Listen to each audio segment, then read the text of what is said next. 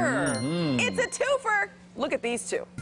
Hello, it's Izzy and Charlie. Good morning, Hey. you two. You're a light of the morning and our 5 a.m. club members of the day. Did you know that uh, we lack some cuteness around here? So these 2 Mm-hmm. have decided that they will be our mascots Monday through Friday. And Code, if you want them on the weekends, a little extra kibble, they'll come in. A little extra kibble? Oh, kibble? yeah? Wait, wait a minute.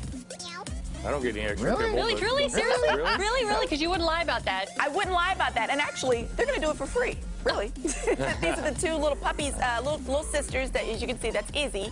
Uh, and then little Charlie on the right with a little pink nose. They are coming to their forever homes uh, in about two weeks. I've been working pro bono on the weekends for a long time. And know, they a can little join extra the club. kibble? Join the club. So they'll be watching the show along with uh, the two grown-up boys in the house, BGDP and Scoob, who have been uh, faithful Good Day viewers for quite some time. We love Ah. four-legged friends. There you go. We do, that we do.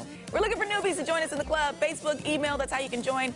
Send your photos in. Let us know who you are, what city you represent, what you say. All right, all right. Yes. And hit us up. Let us know who you are.